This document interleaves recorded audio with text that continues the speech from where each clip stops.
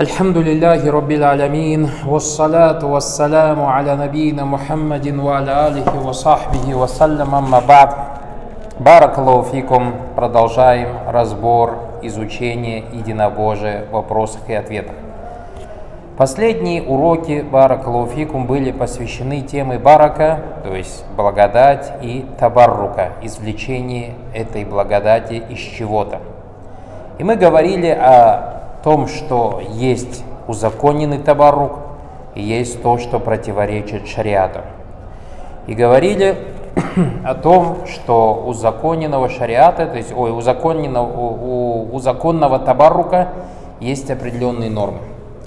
Сегодня, Барак Луфикум, после того, как мы разобрали эту тему и перед тем, как перейти к следующей теме, хотелось бы, Барак Луфикум, немножко побольше поговорить о узаконенном табаруке – Почему, братья?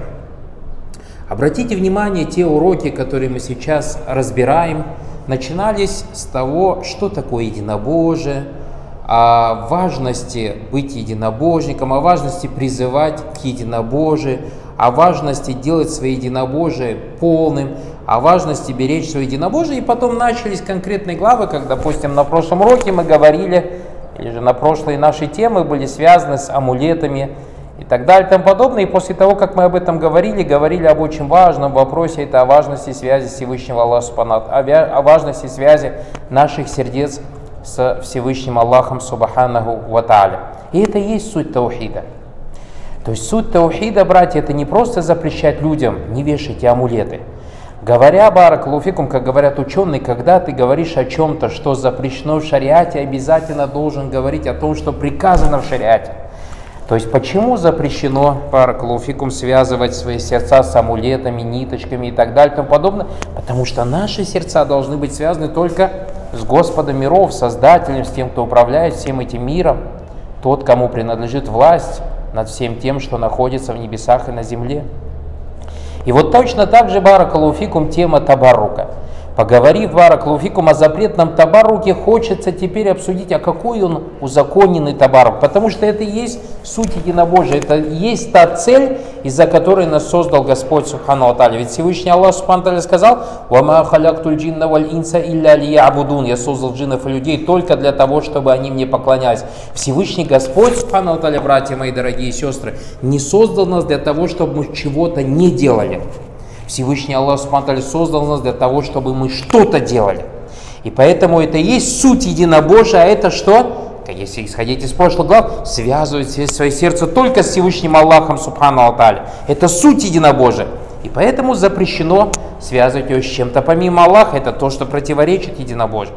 Говоря на прошлых уроках о теме Табаруки, суть суть единобожия бараклофикум или его плоды, это искать баракат в том, во что Всевышний Аллах Субтитры заложил баракат. И извлекать оттуда, стараться баракат. Это и есть та цель, из-за которой нас создал Всевышний Аллах Субхану А то, что противоречит этому, этому нужно сторониться, потому что это противоречит нашей цели. То есть почему я обращаю внимание Баракалуфику на эти вещи? Потому что многие люди, говоря единобожие в наше время, говорят именно о запретах то, что является запретным, и не говорят о том, что является обязательным, о том, что приказано людям делать, а приказано людям, Баракалуфикум, поклоняться одному Всевышнему Аллаху Субхану Аталя, иметь определенные убеждения, говорить определенные слова, делать определенные дела, и это основа, а ответвление от этого сторониться. Все, что противоречит правильным убеждениям, сторониться тем словам, которые противоречат правильным словам, сторониться тех деяний, которые противоречат правильным деяниям.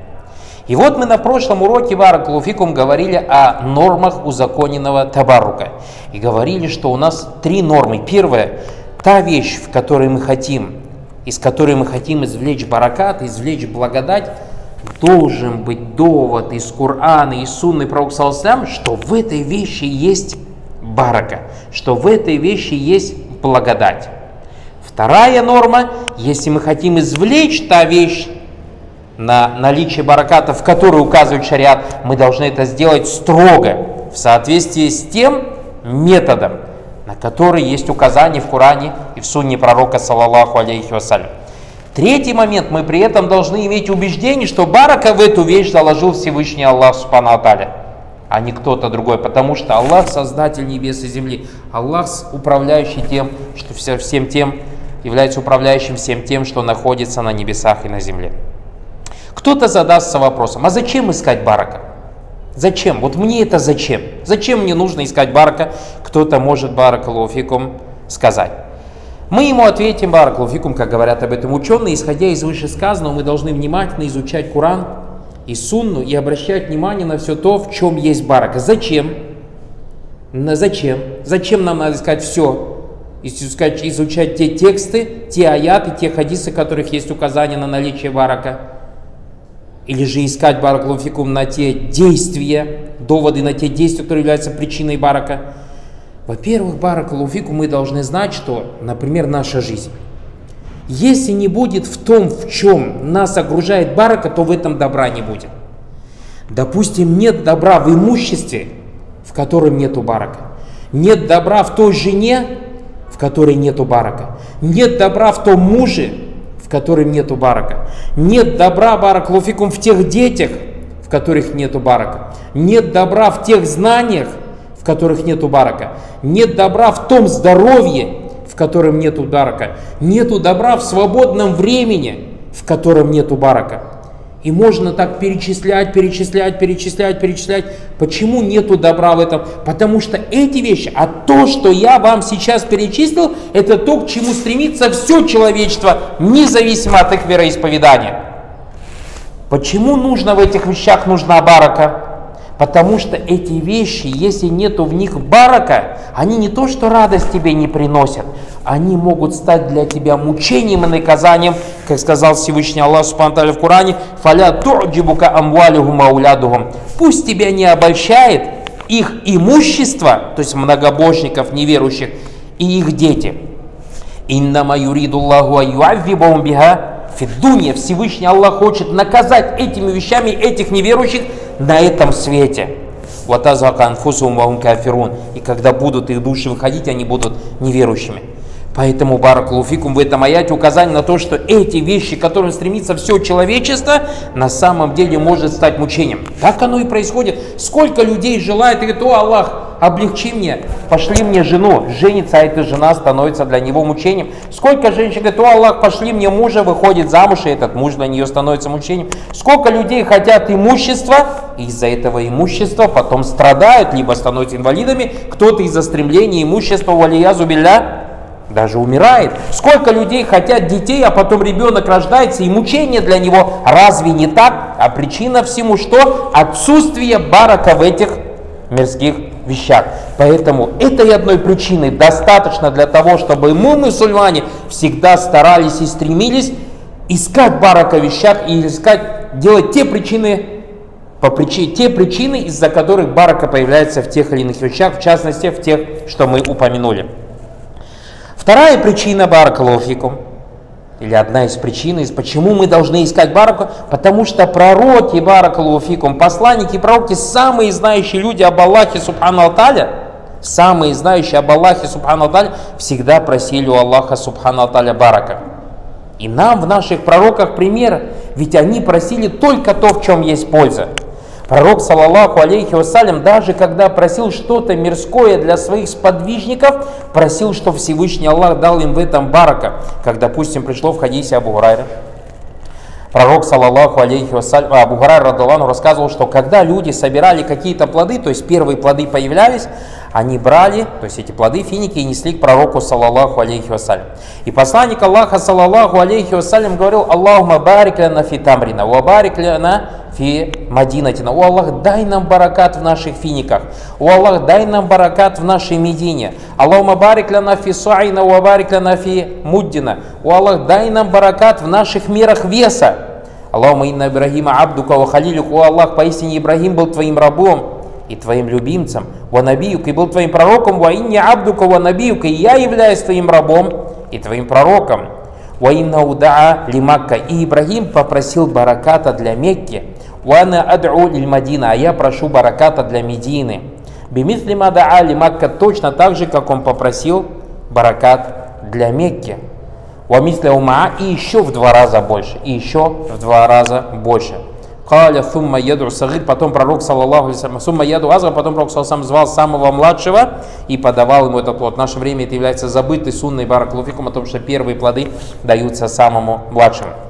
Также пришло в достоверной сунне то, что однажды пророк, саллаллаху алейхи вассалям, от Анас ибн Малик рассказывал о том, что однажды мать Анаса ибн Малика сказала пророку, саллаллаху я Расулла хадимука, о посланник Аллах, это твой слуга. То есть слуга кого? Служил кому? Сунне пророка, саллаллаху фаду. Так сделай же за него дуа. Пророк саллаллаху сказал, Аллаху акфир маляху валядаху. О Аллах, дай ему большое количество потомства и дай ему большое количество имущества. И все, не сказал, уабарик лягу фигима. И дай ему баракат в этом, и дай ему баракат в, этом. Э, уабарик лягу фигима атайтау, и дай ему баракат в том, в чем ты дал. Анас ибн Малик Баракалуфикум рассказывал при жизни, при жизни, что я насчитывал детей, моих детей больше ста человек. А его дочка рассказывала, что в конце жизни Анна своими руками уже 120 человек из своего потомства похоронил, то есть пережил. Видите, это барака, баракалуфикум. И тут очень важная тоже польза. Она сказала у посланника Аллаха, Хадиму, твой слуга, сделай за него то. Вот такое воздаяние у Всевышнего Аллаха тому, кто служит сунне пророка, саллаллаху алейсалям. То есть одна из причин барака это что служение сунни пророка саллаху Третья причина пророк саллаллаху алейсалям побуждал нас просить у Аллаха барака.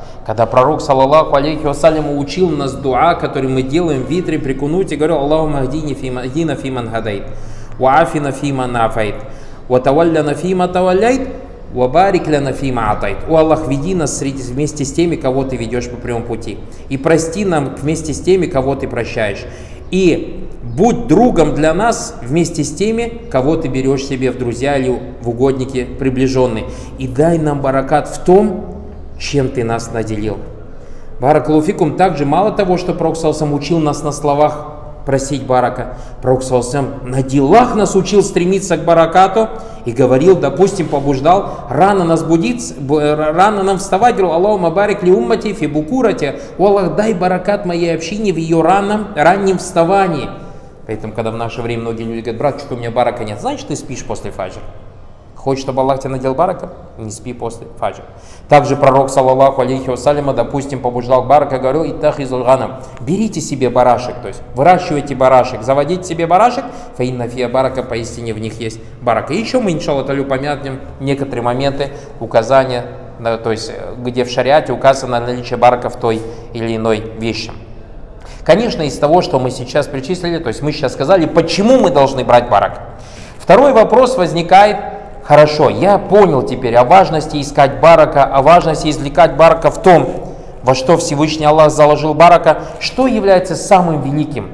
То есть на сегодняшний день я в 21 веке мусульмане хочу извлечь барака. Самая великая барака в чем? Братья, самая великая барака это барака Курана и Сунны пророка, саллаллаху алейсалям. Всевышний Аллах Субхану говорит, китабу назальнаху иляйка мубарак. Книга, которую мы тебе не спаслали, благодатна.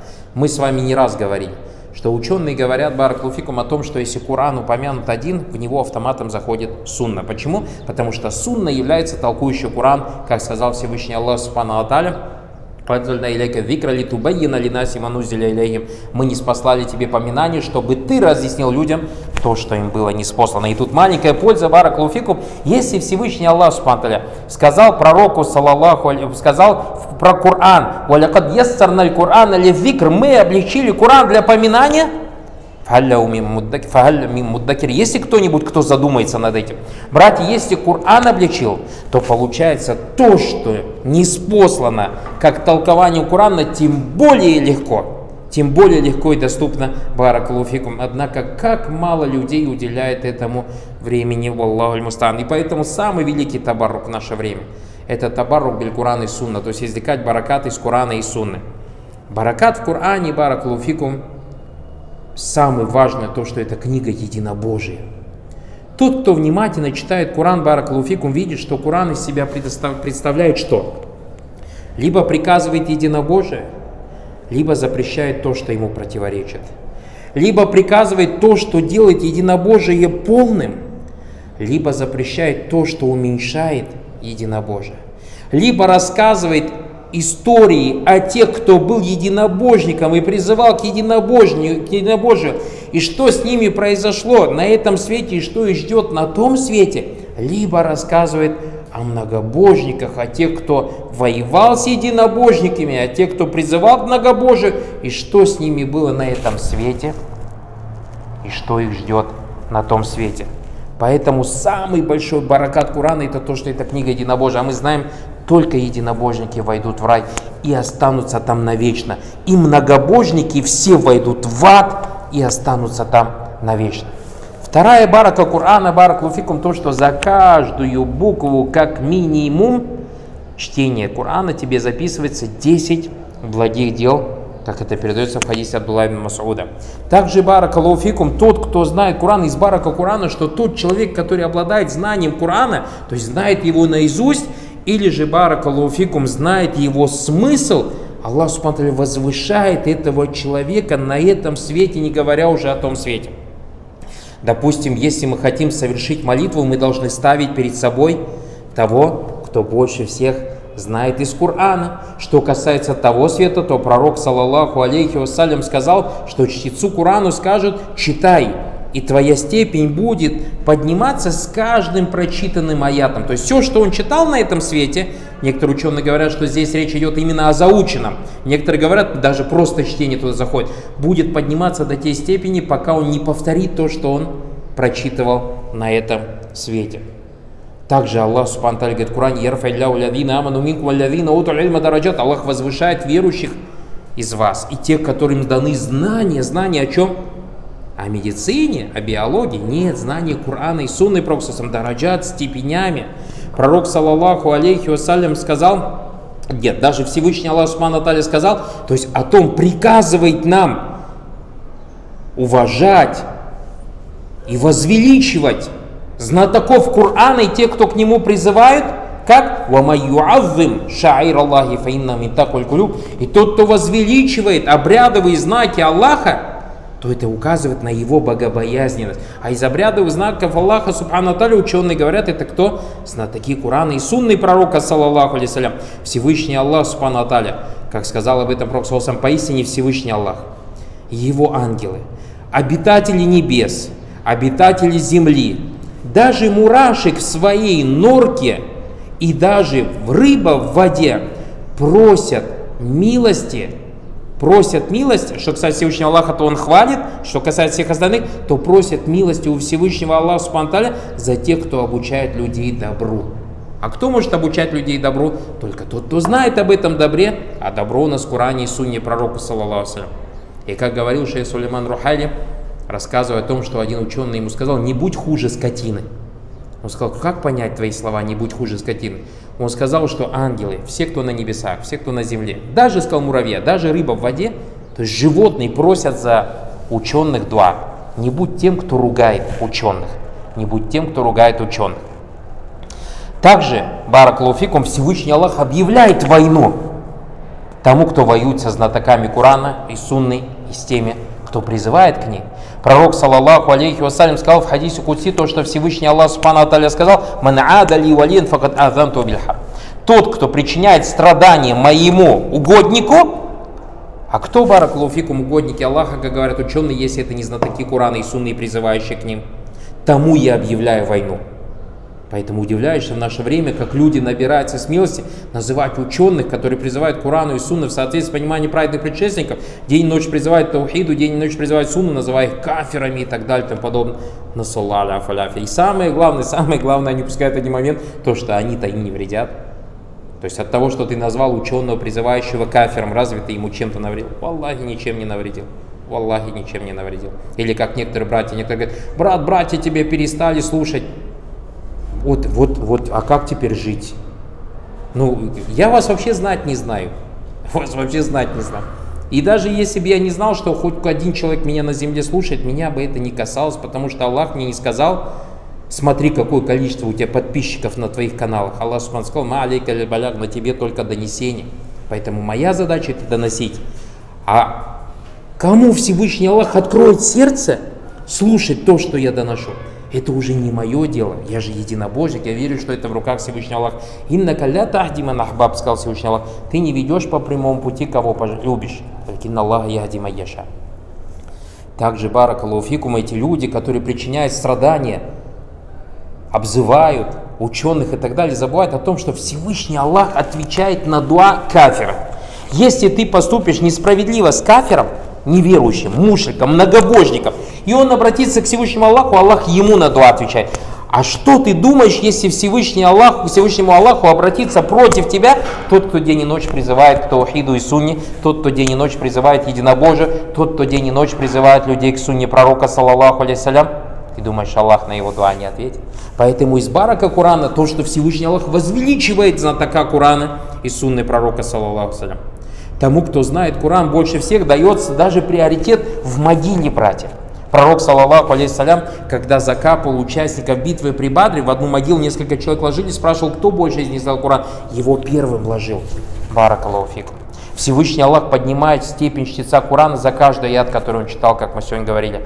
В чтении Курана, братья, даже польза мирских вопросов, как лечение от душевных и физических болезней. Всевышний Аллах говорит, «Вон у нас миналь Кур'ане магу шифау ва рахмату муминин». И мы не спаслаем Кур'ан из Кур'ана, то, в чем есть лечение и милость для верующих.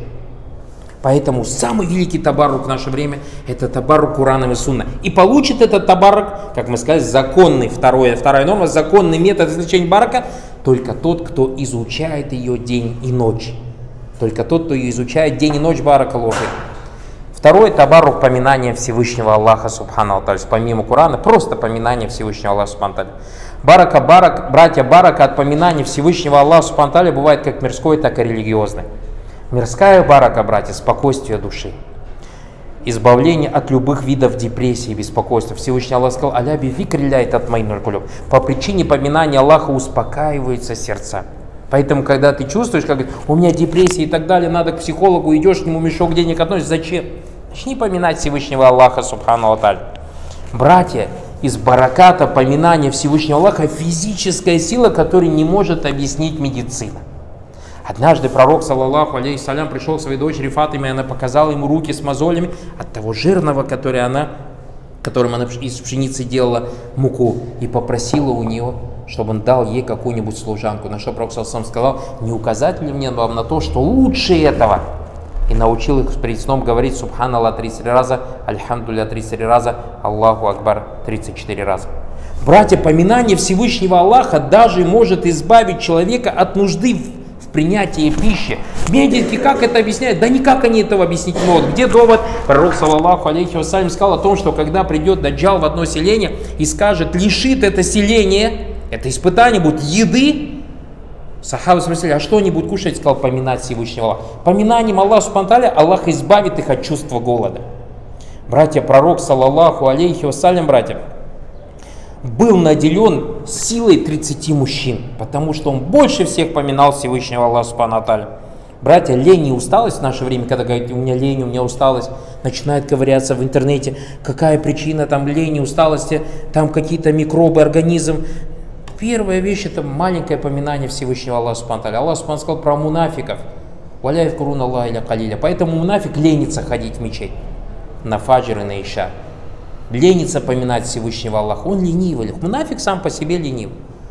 Братья, пророк, саллаллаху алейхи вассалям, сказал про верующего, какая разница между верующим и неверующим, в чем? В поминании Аллаха. Сказал, неверующий кушает в семь животов, то есть семь раз больше, чем кушает верующий. И можно перечислять, и перечислять, и перечислять. Поэтому из барака поминание Всевышнего Аллаха – это физическая сила. Это физическая сила. Братья, из барака поминания Всевышнего Аллаха – это изобилие дождя изобилие имущества, изобилие потомства, изобилие плодородов, плодах, э, пшеницы, все, что сажают люди, Баракалуфикум, Всевышний Аллах говорит, «Вакульту стахфиру роббаку». Нух, алейсалям, обратился к своему народу, сказал, попросите у Аллаха прощения. То есть истихфар один из самых великих видов поминания Всевышнего Аллаха Субхану Аталь. Инна укана гафара, поясни, он является прощающим. Юрсили сама алейкум мидрара, пошлет на вас обильные дожди. Ваюмдиткум бидавьямбаль, наделит вас имуществом, вабанин, детьми, ваяджалякум джаннат, и наделит вас плодородными садами, ваяджалякум ангара, и пустит для вас реки. В этом баракалуфикум есть барака. Барака, поминание Всевышнего Аллаха, помимо чтения Курана, это рукья. Поминанием имен Всевышнего Аллаха Субхану то есть сунной проксалсам лечение от болезни. Что касается религиозной барака, баракалуфикум, в поминании Всевышнего Аллаха, то множит тоже бесконечно перечислять, упомянем только некоторые, это прощение грехов и увеличение наград. Пророк, саллаллаху алейсалям, сказал, тот, кто скажет, ля илях илlallah, вахдаху ля шарика ля, лягу мульку ва лягу льхам, ваху аля кадир. В день сто раз, кто эти слова скажет, ему будет записано как освобождение 10 рабов. Ему запишется 100 благих дел. Ему простится 100 прегрешений ему Аллах его будет защищать от шайтана до самого вечера, то есть если он сказал это утром. И никто лучше него дело не совершит, если кто-то не сделает то же самое, что сделал он. Также пророк Салсам сказал, тот, кто после каждой молитвы говорит 33 раза Субханаллах, Альхамдулля, Аллаху Акбар, ему будут прощены его грехи, даже если они будут как морская пена. То есть видите, барака поминания Всевышнего Аллаха. Братья, если люди поминают Всевышнего Аллаха постоянно, на них снисходит с небес ангелы, милость Всевышнего Аллаха и спокойствие. Пророк, саллаллаху алейхи вассалям, сказал, если какие-то люди сидят и вспоминают о Всевышнем Аллахе, на них не сходят ангелы. Их покрывает милость. К ним не сходит спокойствие, и Всевышний Аллах говорит о них там, то есть в высшем обществе, говорит перед теми, кто находится рядом с ним. Братья, поминание Аллаха, Субхану Алтали, сестры, оберегает. Из бараката поминания Всевышнего Аллаха, то, что Аллах Субхану оберегает от шайтанов – и от вреда шайтанов, как в мирских, так и в религиозных вопросах. Пророк, саллаллаху алейхи вассалям, сказал, если какой-то человек заходит домой, вспоминает о Всевышнего Аллаха, и во время принятия пищи шайтаны говорят, нету вам здесь ночлега и нету вам здесь ужина. А если же он заходит домой, не вспоминает имя Всевышнего Аллаха, шайтаны говорят, успе... все, застали мы место, где переночевать, и а если он ел и не поминал Всевышнего Аллаха, вы, говорит, нашли место и где переночевать, и нашли себе место поужинать. Сколько людей, Баракулуфикум, спят и говорит, сегодня бессонница, не мог нормально спать, всю ночь ужасы, сон плохой был и так далее и тому подобное. Рядом-то шайтан лежал. Ты человека рядом с собой положи, какую-нибудь на узкую одноместную кровать, такого как ты, а представь, там толпа. Конечно, тебе тесно будет, Баракулуфи. Или же то есть, тесно говорю, если бы они даже физические тела бы ты их чувствовал, что говорить, они тебя там наущают, какие они только гадости тебе не говорят и так далее, там подобное. Точно так же ужас, сколько людей бывает, поел вроде бы еды много и не наелся. Почему? Так ты привел с собой толпу с улицы, шайтанов. Потому что когда зашел домой, не вспомнил имя Всевышнего Аллаха Субхану Аталя. Также пророк, саллаллаху алейсалям, сказал о близости мужа с женой. Если один из вас сказал, когда у него происходит ближе с женой, говорит Бисмилля Аллаху джанибна шайтана, джаниби шайтана маразактана. Бисмилля сказал с именем Аллаху Аллах, обереги от нас шайтан. То есть отдали от нас шайтан. И отдали шайтан от того, чем ты нас наделил, если, говорит, им предопределен ребенок, то шайтан ему не навредит. Как много в наше время, Балакауфикум, рождается детей, которые так далеки религии. Вроде бы мать, отец нормальный, религиозный, а ребенок вообще не хочет быть мусульманином. Надо вспомнить о причине когда этот ребенок появился, вы вспомнили об имени Всевышнего Аллаха Субтитры или же нет? Даже пророк, саллаллаху алейхи вассалям, сказал, разница, а, даже пророк, саллаллаху алейхи вассалям, сказал, занавес между глазами джинов и срамными местами человека, бисмилля, то есть поминание Всевышнего Аллаха. Поэтому, как много в наше время, бараклуфикум, сестер, допустим, которые, альхамдулля, скромные, никогда бы не показали свои срамные места чужим мужчинам. То есть одному или двоим чужим мужчинам. А как много сестер, которые показывают свои срамные места толпам джинов мужского рода, потому что не говорят бисмилля, когда раздеваются. И также это касается мужчин. Братья, третий вид табарука очень важный, это табарук знаниями и обладателями знаний. В чем больше в человеке, братья, чем больше в человеке знания, и чем больше он занят призывом к единобожию суне, тем больше в нем бараката. А табарук этим человеком извлекается каким образом? Целованием, обтиранием? Нет, братья. Табарук этим человеком, баракалуфикум, извлекается постоянным пребыванием рядом с ними. Как говорят ученые, баракалуфикум, ученый как пальма. Ученый как пальма. Когда-то до с него финик упадет, баракалуфикум. То есть он тебе как минимум, пальма, даже если финик упадет, в тени от солнца будешь. Вот точно так же знаешь табарук этих людей, что находясь с ними, баракалуфикум, ты учишься сунни прауксалсам на практике. Они тебе что-то полезное скажут, они тебе посоветуют, даже в мирских вещах они тебе что-то подскажут, баракалуфикум. И это станет причиной многочисленного добра, как для тебя на этом, так и на том свете. Четвертое, баракалуфикум, табарук разными шариатскими положениями, которые упомянуты в Коране и Сунне, что в этих местах есть барака, или в этих вещах есть барака, или то, что тот, кто сделает то-то, то-то, ему будет дана барака. Как, допустим, пророк, саллаллаху алейхи вассалям, сказал, собирайтесь во время еды и вспоминайте имя Всевышнего Аллаха, вам будет дан баракат. В наше время очень мало кто люди практикует это.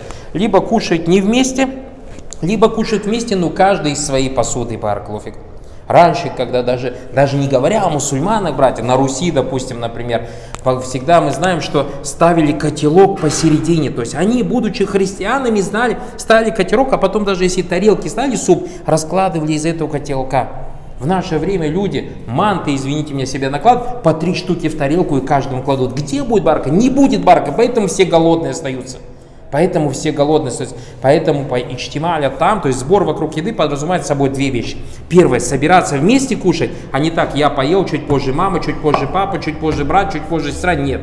Это первое. Второе, если мы сели, обязательно еда должна быть в центре. Обязательно еда должна быть в центре. А потом себе уже каждый из этой еды накладывает барак лофикум. Также пророк, саллаллаху алейхи вассалям, приказал, допустим, во время принятия пищи сторониться центра еды, а брать именно с краю. И сказал Барак Луфикум, что барака снисходит центр еды. Как это физики, химики могут доказать? Валлахи не могут, потому что этого никто не видит. Но это факт, это есть, потому что Пророк сам по пристрастию своему не говорит. Все, что он говорит, это откровение от Всевышнего Господа, Субхану Алталя. Поэтому Пророк сам запретил кушать из центра и сказал кушать из еды. Сказал поистине, человек также пророк сам сказал, если мы поедим, покушать, облизать свои пальцы, потому что сказал, поистине человек не знает, где именно осталась барка, барка. И таких положений огромное множество, и о них может знать только тот, кто изучает Куран и Сунна пророка, саллаллаху алейхи вассалям. Братья, табарук, один пятый вид табарука, разными узаконенными шариатами местами – как, допустим, мечеть Харам. Мы говорили с вами уже на прошлых уроках, что барака этих мест, или же мечеть пророка Салсамаль это увеличение награды за молитву в этих местах. Шестой барак луфикум, табарук разными узаконенными шариатом временами, как месяц Рамадан, как ночь предопределения, как 10 первых дней Зульхиджи барак луфикум, как пятничный день, как третья часть ночи, как раннее вставание по утрам и так далее и подобное. Все эти вещи, в них есть барака и мы должны стремиться к ней. И мы должны до того, как стремиться к ней, изучать все те места, в которых есть барака. Все это для чего, братья? Для того, чтобы то, что нас окружает, приносило нам радость и счастье как на этом, так и на том свете.